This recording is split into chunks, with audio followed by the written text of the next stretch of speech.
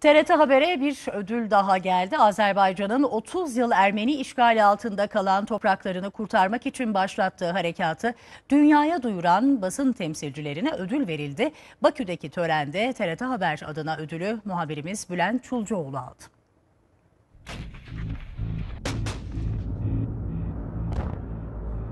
Ermenistan'ın 30 yıla yakın işgal ettiği toprakları genişletme çabası Azerbaycan'ı ayağa kaldırdı. Türkiye ile ortak harekat kısa sürede sonuç verdi. Başta Şuşa olmak üzere işgal altında olan 5 kent merkezi, 4 kasaba ve 286 köy kurtarıldı.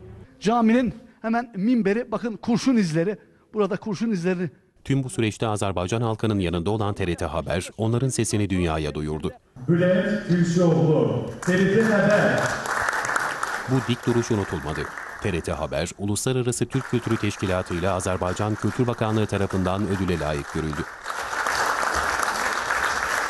Azərbaycanda yaşayan, Azərbaycanda yaşamayan, Azərbaycanla ürəyi döyünən, Azərbaycanı sevən insanlar bu savaşda öz tövbələrini verirlər, öz savaşlarını verirlər. İnformasiya savaşında da bu dəstəyi biz hiss. Bakü'deki Uluslararası Kültür Merkezi'nde düzenlenen törende TRT Haber adına ödülü muhabir Bülent Çulcuoğlu aldı.